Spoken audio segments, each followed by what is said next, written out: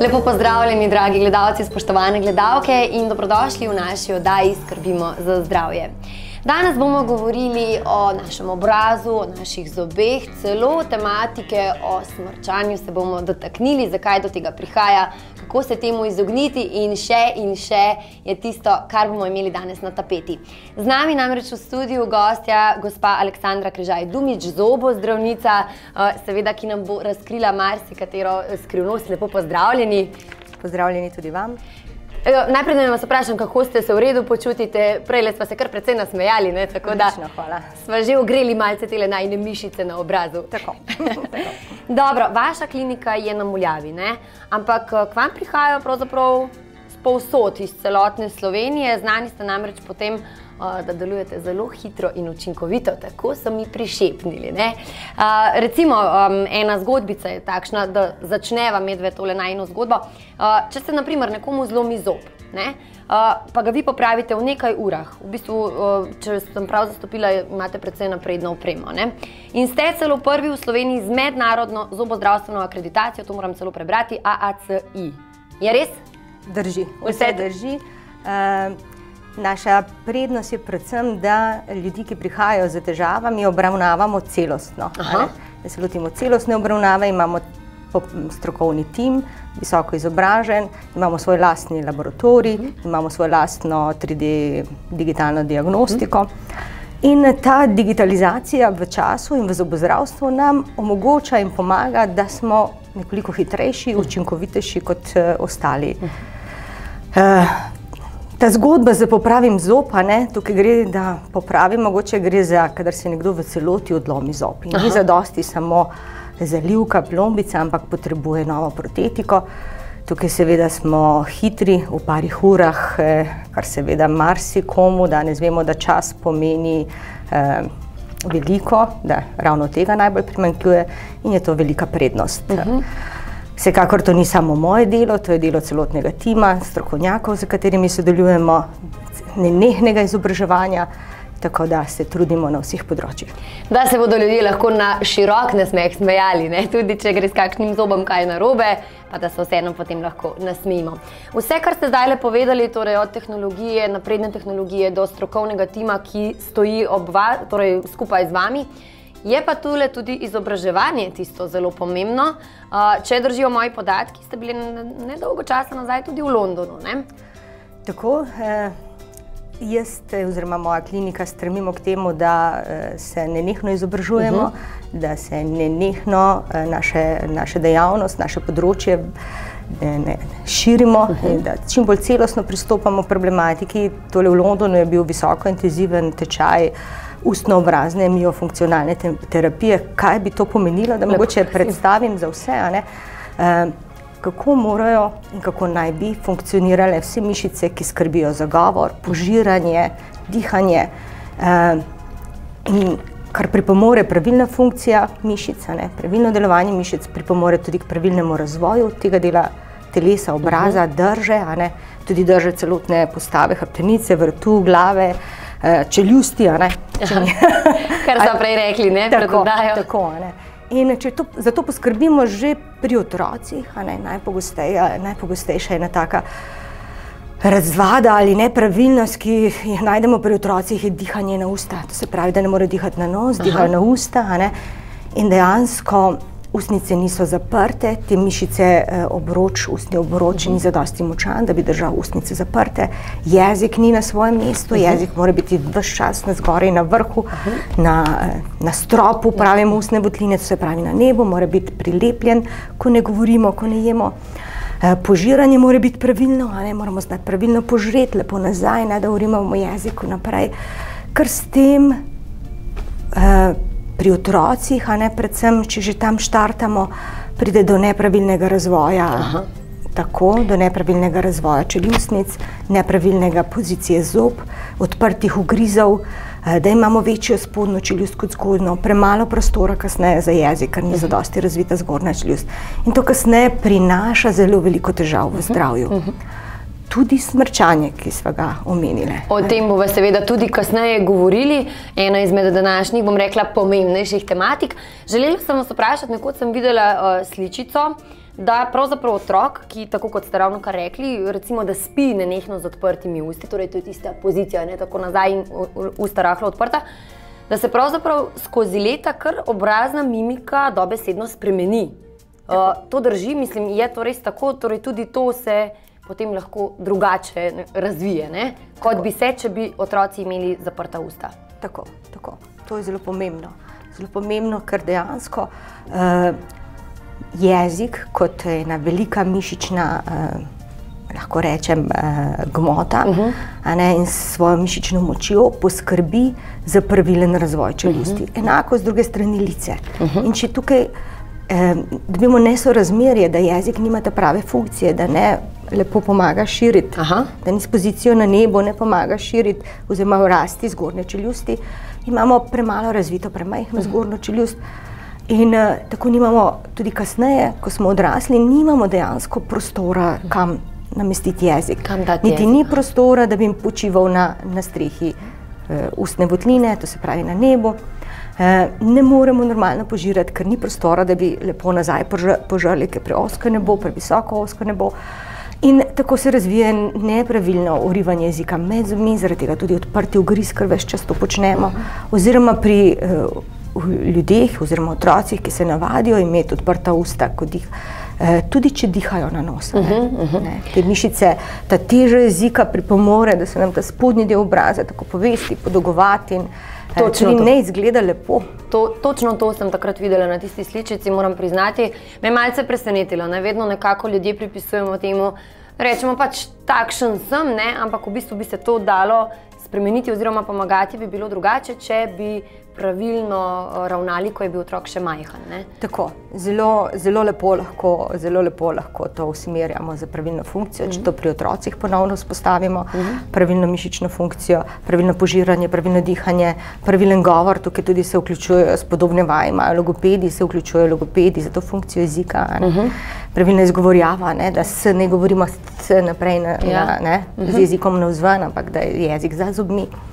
Uh, Uh, vsekakor se pa tudi da nekaj narediti pri odraslih. Uh -huh, uh -huh. Tudi pri odraslih, s tem, ko pripomoremo, ko, ko izboljšamo to mišično funkcijo, izboljšamo tudi nekatere druge zdravstvene um, recimo, težave, ki jih imajo, visok pritisk, nespanje, razdržljivost, uh -huh. utrujenost čez dan. Uh, in tako naprej. Ja. Torej, kar nekaj zdravstvenih težav se lahko na, zaradi tega pojavi. Dragi gledalci, spoštovane gledalke, še enkrat vas eh, seveda prav lepo pozdravljam. Uh, namreč smo v oddaji skrbimo za zdravje. Če ste se nam slučajno pridružili kakšen trenutek kasneje, naj povem, da je v naši družbi zdravnica, zobozdravnica, gospa Aleksandra Križaj Dumič, eh, ki ima seveda svojo kliniko na Muljavi. Uh, ravno kar sva povedali, da imate torej, uh, izjemno upremo, izjemno osebje za seboj, da ste izredno hitri, da se no, nenehno izobražujete, predvsem pa, kar je tisto pomembno v naši oddaji, bomo govorili ne le torej o zobeh, ampak predvsem o obrazni, miofunkcijski terapiji. Ne? Pa, kar je še bolj pomembno, in bom rekla tako, najverjetneje vas bo tudi zelo zanimalo o smrčanju, ne? zakaj do tega pride. In vse to, seveda, še kasneje. Najprej vas moram, predno nadaljuje vas to najno tematiko, še vprašati. Res je, da se vi izobražujete, ampak uh, drži ali ne, da tudi vi izobražujete druge. En, je. Da se še to malce pohvali, vam tako rekla. Tako je, tako. Mogoče, mogoče eh, izločim nekako dve vrsti izobraževanja. Tudi moj celoten tim, tudi uh -huh. um, sodelavci, ki so z mano um, delajo, uh, tudi njih vsakodnevno mentoriram, uh -huh, sodelujemo uh -huh. skupaj. Uh, druga stvar pa je, da že vrsto let delam na področju Laserske akademije in izobražujemo zobozdravnike z celega sveta, uh -huh. Eh, kako dejansko uporabljati dentalne laserje. Uh -huh. No, uh, zdaj pa greva medveno na eno temo, tisto bom rekla, uh, ki nas vse, vključno z menoj, zakaj, ker moj mož je tisti pravi smrčač, bom rekla, uh, zelo zanima. Smrčanje. Govorili bomo zdaj o tem in greva kar po vrsti. Najverjetneje tudi naše gledalce zanima, zakaj ljudje smrčimo. Ne vem, ali obstaja neko univerzalen odgovor ali je treba to bolj razčleniti, boste vi povedali. Ja. Um, razlogov je lahko več, uh, dejansko pa pride do zapore dihalnih poti, uh -huh. ne? -huh. do nepravilnega delovanja uh, dihalnih poti. Najpogosteje je to v področju mehkega neba, uh -huh. kjer dejansko ta mehko nebo nekoliko preveč zapira, je preveč ohlapno, povešeno uh -huh. In zapira um, dihalno pot. Aha. In pri vsakem vdihu pride do vibracije tega za resonanco in tako uh, proizvajamo te zvoke. Aha. Zakaj pa dejansko pride do povešenega mehkega neba? Zakaj to. dejansko uh mhm. -huh. pride do tega? Uh, pogosti tukaj so. Um, vsekakor tisti, ki nimajo zaprtih ust, uh -huh. ki mhm. ne dihajo na nos. Ne. To so pogosta kategorija. E, tudi pri otrocih ne, se že začne, ne so ti otroci, ki imajo pogosta prehladna obolenja. Aha, aha. Pogosto pač neprehodne zgornje dihalne poti, a ne postanejo smrčači. Pogosto imajo pa nepravilno pozicijo odprta usta, e, nepravilno požiranje in dejansko iz tega se pride v nekak začaran krok, ne? uh mhm. -huh. dihanje na usta, uh mhm. -huh. še slabše okolje za, za žrelo, za tako in še več prehladnih obolenj, nepravilna pozicija jezika, premalo razvita zgornja čeljust, še več prehladnih obolenj, ker je bolen tudi z ušesi, uh -huh. ker so mhm. te eustahijeve tube ne, ne, ne lepo prehodne. Ne prehodne. Tako, uh, pa imamo debelost, mhm, prekomerna debelost, mhm. prekomerna debelost. Tudi to vpliva, torej. Alkohol, preveč alkohola. Vsekakor, če boste mogoče pri možu pozorna, ne ti zvečer, ko je mogoče spije kaj več, bo smrčal precej glasneje. Mogoče bi res bilo nekaj na tem. ja, ponavadi, zdaj le, ko pomislim, morda res, ja, Tako. Bolj izrazito. Ne, bolj izrazito. Mhm. tako, ja. Kaj pa mogoče, zdaj le tako, ko ste me uh, spodbudili k razmišljanju, kdaj bolj smrči, uh, mogoče kakšna prekomerna utrujenost ali pa kaj takega, recimo tisto, ko se vem, čisto zaspimo na polno, da nas nihče ne more prebuditi. Ali je smrčanje neko tisto umestno spanje, je to kaj povezano ali nima nobene? Ja, tako bom rekla, ne? dejansko ti, ti smrčači, ponavadi imajo nima zadosti globokega spanja. Ni zadosti, aha. Zato so nespočiti. Aha, aha, nespočiti ja, ne. Njih dejansko pride do, um, tukaj ni ponovadi samo smrčanje, ampak veliko krat tudi gre za apneje. To pomeni, da nekaj časa, nekaj minutko, tudi minutko in pol, na zadnje sem imela enega, tudi do tri minute ne vdihne, neha dihati. To so te apneje ki pol nas zbudijo. Aha, aha. In to spanje pa ni zadosti globoko, smo ne naspani in pa je ta verižna reakcija, ne. Mhm. preutrujeni.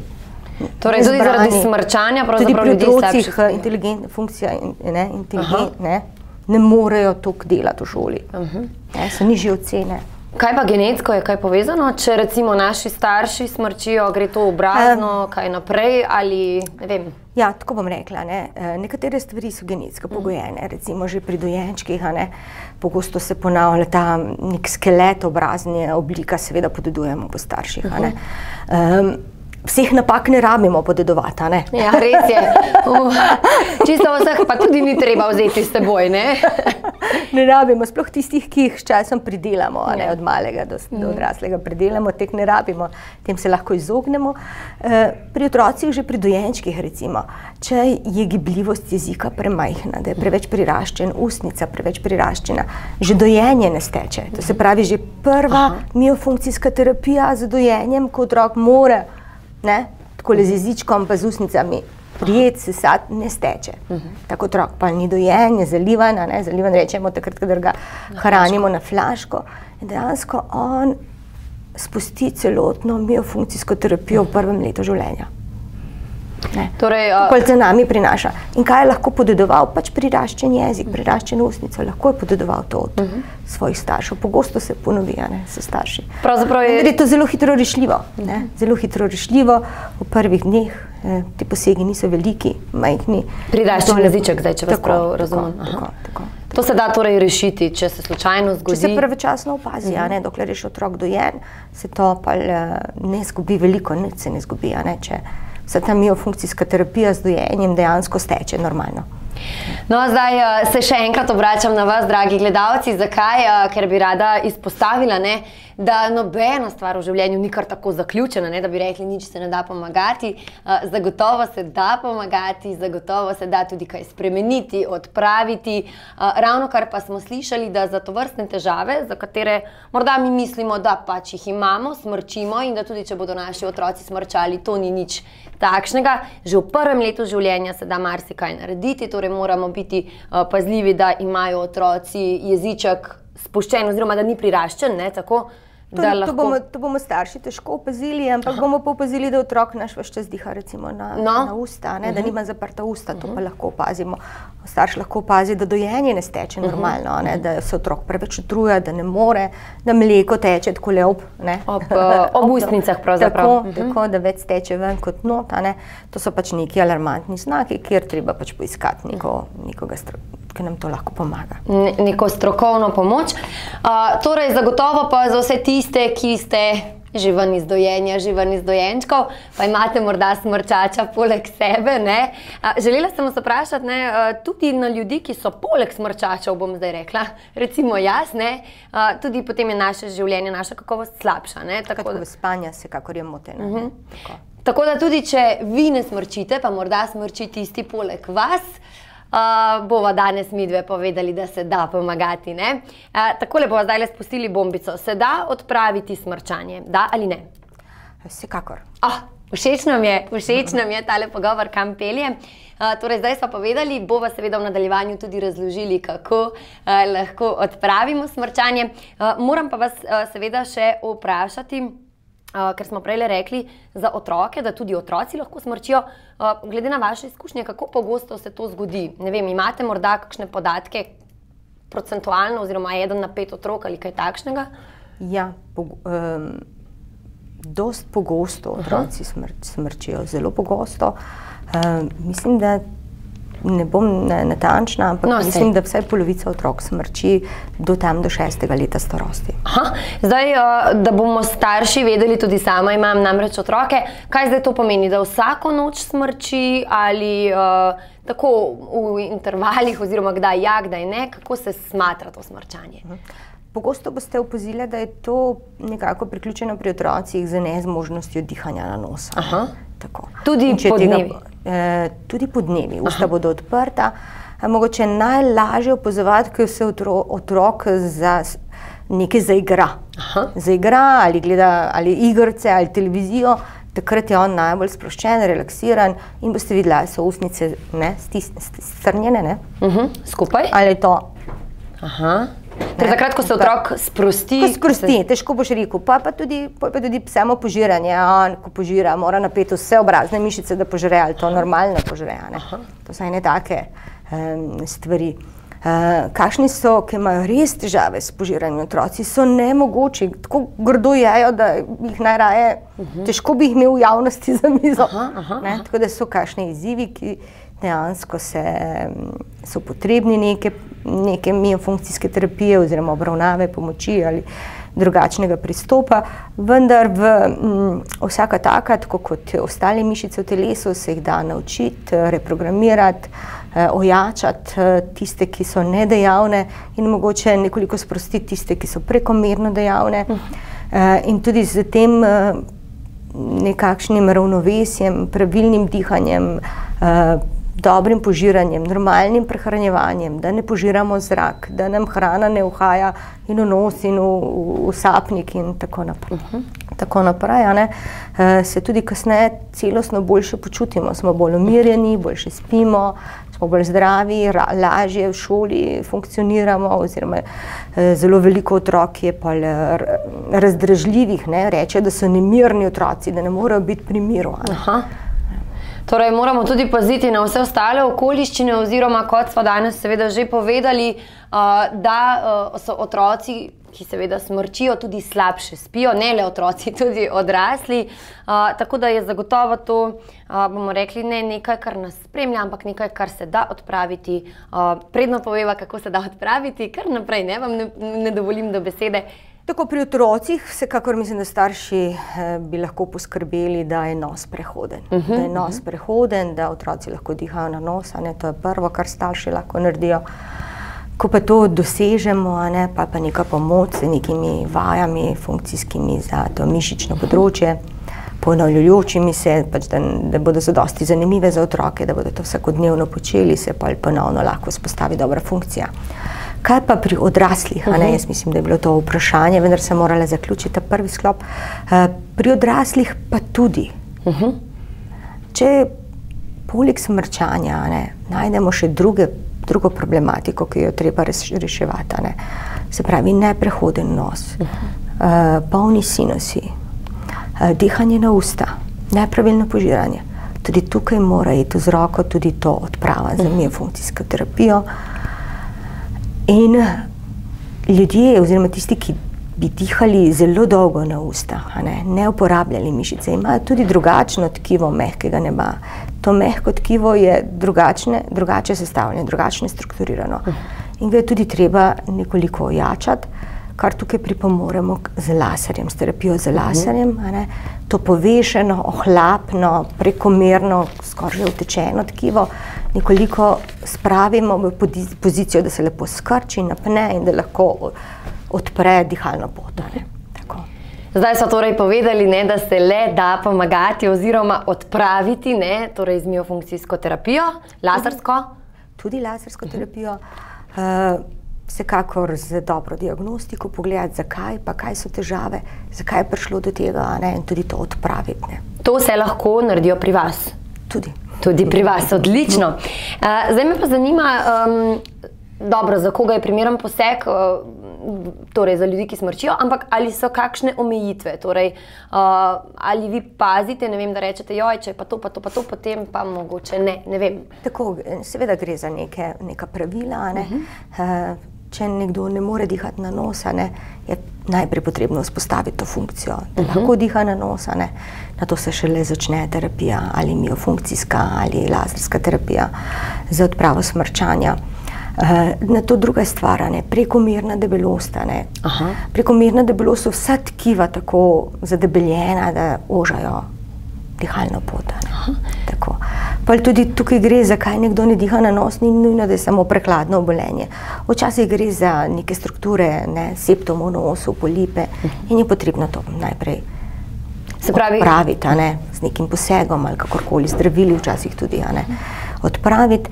Uh, nepravilno požiranje, vsekakor se naučimo, jih naučimo, ne, ampak to ni, da jaz pokažem in znam, ampak gre doma vaditi in vaditi in vaditi. Tudi to je treba trenirati. Ne? Tako, ne? tako da uspeh je zagotovljen tudi z vlastnim trudom, ne? oziroma predvsem je odvisen včasih tudi od vlastnega truda, ne samo od truda nekoga drugega, ki za nas poskrbi. Zagotovo se bodo lahko prepustili vašim uh, rokam, ne bom tako rekla, oziroma vašim terapijam, ampak kot smo ravno kar slišali, je treba poskrbeti tudi lastno. Uh, torej, prehodnost nosu, ne ste rekli, ni nujno, da je vedno samo po domač rečeno zabasan nos, ne tisto, ko težko uh, dihamo zaradi nahodnih obolenj, ampak so lahko tudi kakšne težave. Kaj ste omenili, kaj se lahko dogaja v nosu, oziroma katere so tiste najpogostejše težave, ste rekli polipi? Uh, tukaj bo mogoče kakšen ORL strokovnjak uh, več. več povedal, uh -huh. Vendar vsekakor gre najprej pregled pri ORL-ju, tako in tam pogledajo, zakaj dejansko gre. Uh -huh. uh, so pa pogosto kakšni nepravilnosti tega septa, pretina, ne? uh -huh. deviacije, da ni prehodna ena nosnica druga, ali kakšni polipi, ali kakšne alergije, uh -huh. vsekakor je za pogledati in uh, tudi to odpraviti. In ko se to uredi, ko, če ste prekomerno težki, torej predebeli, tukaj lahko... spada tudi dieta. Tudi, tukaj, uh mhm. -huh. Če želite boljše, boljše počutje, boljše zdravje, boljše spanje, vsekakor tudi tukaj pride tudi dieta, mi temu rečemo higiena spanja in mhm. prehranjevanja, kaj to pomeni, ne? nek eh, pravi ritem, kdaj iti spat, uh -huh. uh, se ga držati da no, pred spanjem se nekoliko bolj umirimo, znižamo svetlobo, da ni premočna svetloba, mogoče ne športamo ravno tik pred spanjem na polno, so to lahko sprostilne vaje, ne pa take, ki ti močno dvignejo trip, tudi to nam moti spanje. Uh, ali da se prenajemo, prenajemo ne, ob 11. zvečer, tudi to nam moti spanje. tukaj spada tak celostni, tak holističen pristop, ne, uh -huh. eh, kjer vsekakor je treba pogledati od vsakega posameznika, ritem, razvade, urnike. Dihanje, požiranje. torej vse, celotno, vse zauzema. Uh, kar je pa seveda najpomembnejše, ker smrčanje ni zgolj. Um, bom rekla, neka takšna estetska napaka, oziroma tisto, ko rečemo, joj, smrčiš, ne bom s teboj v sobi spal. Naprimer, Ni samo hrup. Ni samo hrup, točno tako, hvala lepa, ker ste mi pomagali povzeti. Uh, ampak seveda gre za to, uh, da je tudi naše življenje, če smo smrčači, uh, slabše, ne kakovostno. Torej, kot ste rekli, smo lahko razdražljivi. Tako in, in ne, nažalost, ne samo naše, ampak tudi tistega, ki spi zraven nas. Ne, Vse, ki spi zraven nas, tudi tistega, ki spi zraven nas. Tako. Da ne boste spali na kavču, da ne boste spali v drugih sobah, uh, da boste končno nehali smrčati. Ne? Bomo danes rekli, da se to odpraviti, odlična uh, terapija je tista, ki vam to pomaga odpraviti. Uh, da še na hitro povzamem, ne, zakaj torej gre. Uh, gre torej za terapijo, ki vam pomaga odpraviti smrčanje. Seveda uh, je treba poskrbeti tudi za tiste um, okoliščine, ki so okrog, torej če ste prekomerno težki, če imate neprehoden nos. Uh, torej, pomeni, da morate tudi sami nekaj narediti v tej smeri, potem pa seveda vam pomaga uh, na vaši kliniki, ne, tako kot ste rekli, uh, ta terapija. Kako učinkovita je terapija? Čisto vsakemu, uh, ki se je loti, če ima svojo lastno voljo tudi. Ne? Tako, pri vseh je izboljšanje. Uh -huh. Pri vseh je izboljšanje, izboljšanje je tam uh, od 70%, skoraj pri vsakemu, uh -huh. zdaj pa vprašanje je to popolnoma izničenje. Ampak uh, vsi so zadovoljni, to je zadosti, uh -huh. če se spanje toliko izboljša. Uh -huh. Ko vprašamo, pa, vprašamo, kaj pa partner pravi, ja, ni več na kavču, ni več zjutraj na kavču. Ja. Se pravi, tudi partner boljše spi. Se pravi, da se bo družinsko življenje tudi Tako. izboljšalo.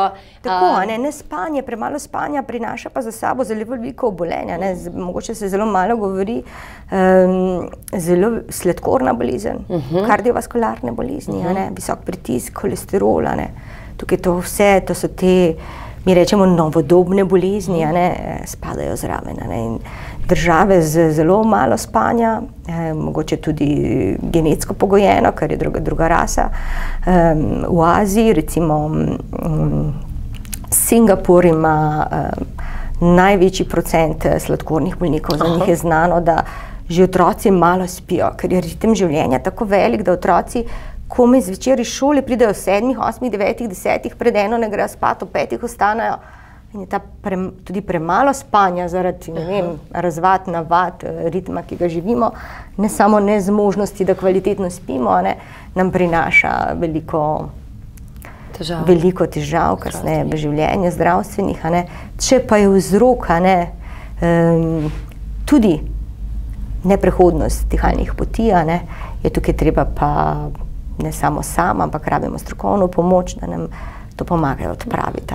Uh -huh. uh, zdaj, torej, uh, sva povedali nekaj, na kar verjamem, da mnogi niso niti pomislili. Torej, uh, nekvaliteten spanec vam lahko prinese ogromno zdravstvenih težav, uh, novodobnih, uh, kot sva ravno kar ste povedali, torej od visokega sladkorja, holesterola do uh, visokega pritiska.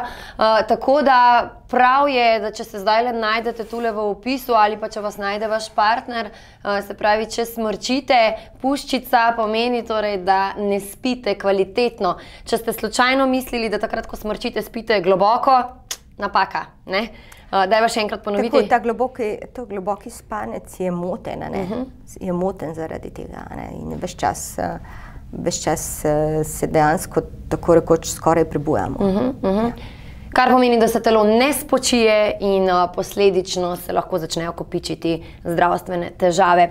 Um, ja, tako, tako, tukaj, Tukaj imamo v Sloveniji pač tudi um, laboratorij za spanje, ne, tudi Aha. oni to pregledajo. Mi, mi na naši kliniki jim damo monitoring, ne, jim damo napravo, kjer dejansko uh, nesejo domov in uh, se, se, se za par dni posnamajo, kako spijo. Uh mhm. -huh. Tukaj snimamo dejansko smrčanje, ta hrup, snimamo, koliko je kisika v krvi, koliko časa, kako dolge so epizode nedihanja, koliko časa kvalitetno spi in tako naprej. Tako imenovane apneje. Vendar tudi tudi pri nas, ne, na Golniku in v kliničnem centru, imajo pa tudi uh, nekoliko večji monitoring, se pravi, več tega posnamejo tokom uh -huh. večera. Ne. Tako da tudi ta, če je potrebno, je potrebno upraviti tudi to diagnostiko, ne, če gre za resnejše zdravstvene težave. Tako da to ni tako majhen problem, tak celosten pristop je potreben, delovanje mogoče več eh, ne samo zobozdravstvenih specialnosti, ampak celotnega zdravstvenega tima.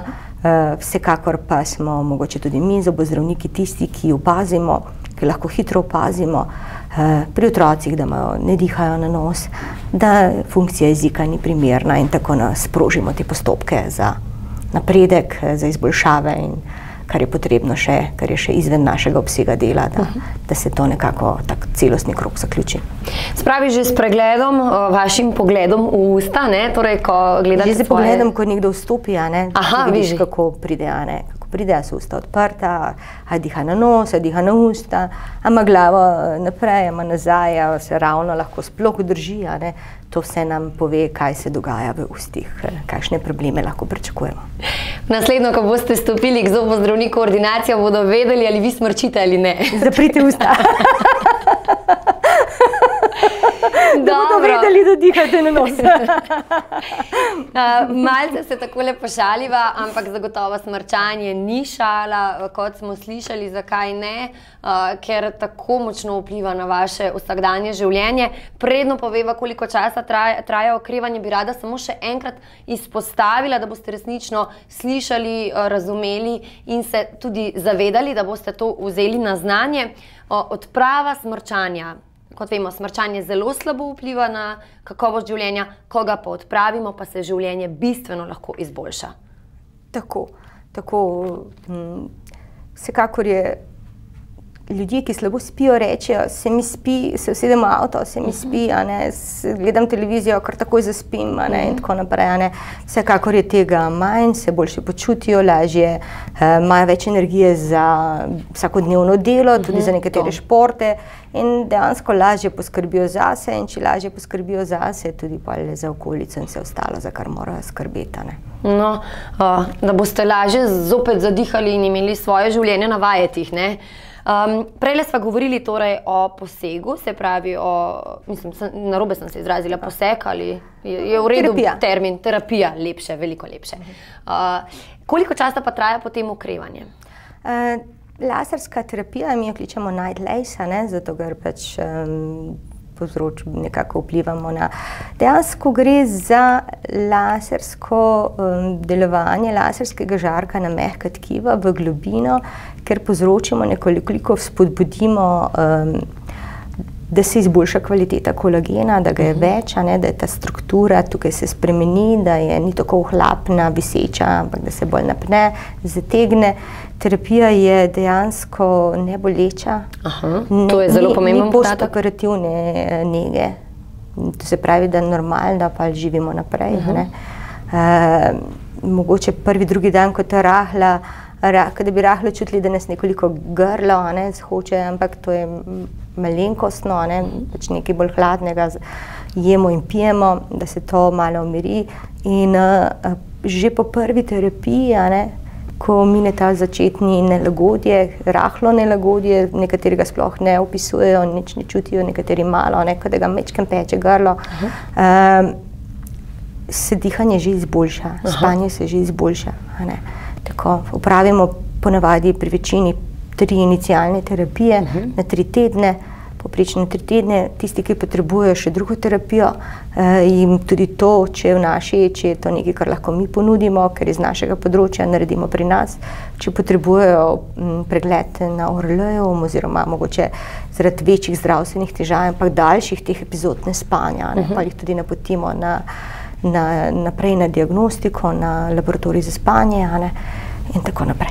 Torej, terapija traja v kol, koliko krat? Trikrat, tri- trikrat, trikrat na tri- tri tedne. tako. In, uh, to, 3 do 4 tedne, a ne 21 dni naj bi bilo taka. Ja.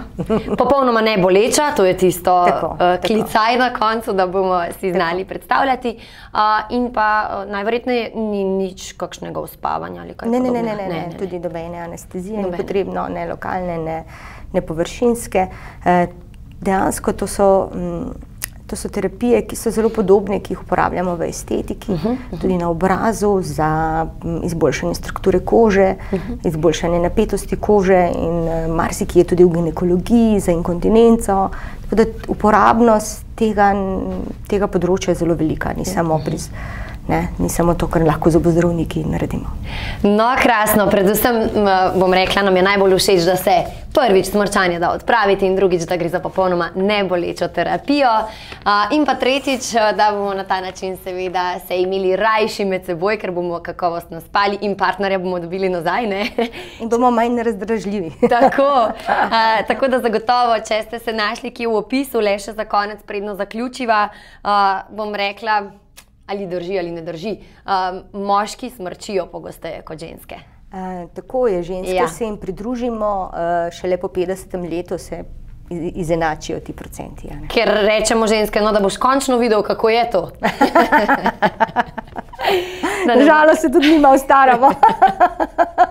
in pride za starost, je tudi večja ohlapnost. In, In seveda posledično tako, gravitacija nam, in gravitacija nam ne da miru, ampak da se seveda pomagati. Uh, tako da, ja, dragi gledalci, spoštovane gledalke, da se pomagati, rečite, recite svojemu smrčaču, uh, pojdi zdaj tole že uštimati. Uh, naj povem, da je bila doktorica Aleksandra Križaj Dumič z nami iz klinike na Moljavi, torej vaša klinika je na Moljavi. Še enkrat sem seveda to ponovila, ker se približujeva koncu. Prav prijetno so poklepetali, nič zasmrčali vmes in upam, da nihče izmed vas ni posmrčal vmes med oddajo. Uh, najlepše se vam zahvaljujem za vaš obisk v našem studiu uh, in pa upam, da se še kdaj srečava. Ne?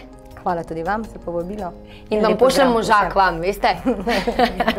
Na terapijo, seveda. Najlepša hvala tudi vam, dragi gledalci, spoštovane gledalke, ker ste bili z nami. In še enkrat po črto ponavljam, Če slučajno smrčite, če imate poleg sebe koga, ki smrči, čim prej ga pošljite točno tja, kamor mora iti, da se to smrčanje že končno enkrat preneha. Uh, imejte se lepo in se vidimo znova v naši naslednji oddaji. Do takrat pa nasvidenje.